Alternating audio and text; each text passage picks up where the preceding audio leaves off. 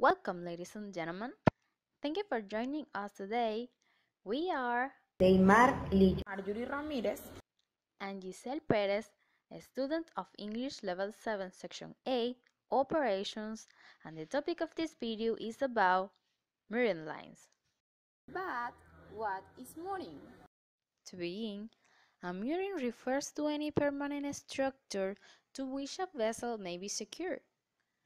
Examples include quays, wharf, jetty, piers, anchor buoys, and mooring buoys. Then, mooring lines are lines or cables used to secure a ship at a berth. The standard moor on most ships is six mooring lines.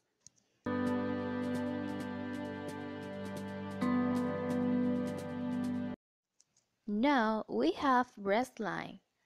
Breastline are mooring lines leading ashore as perpendicular as possible to the ship fore and aft line.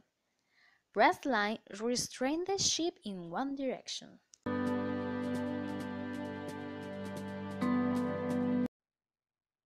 Headline are the mooring lines leading ashore from the fore-end or forecastle of the ship, usually form an angle of about 45 degrees to the fore and aft line. Headlines are used to keep forward part of the vessel against the dock.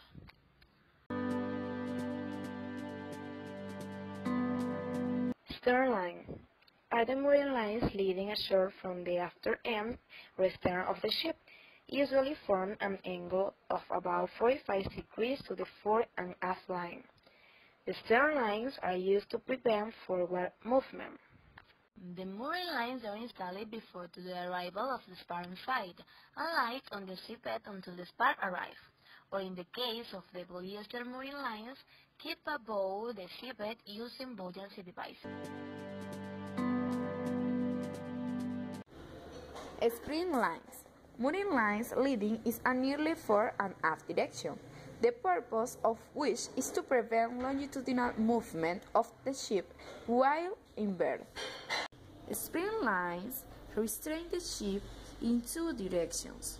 Head springs prevent forward motion and back springs prevent aft motion. Spring lines run diagonally forward or aft from the vessel at a shallow angle to limit the vessel's fore and aft movement. There are some types of mooring lines. Sisal, hemp, steel wire, polyethylene, polypropylene, polyester, nylon, chain, high and high MPE.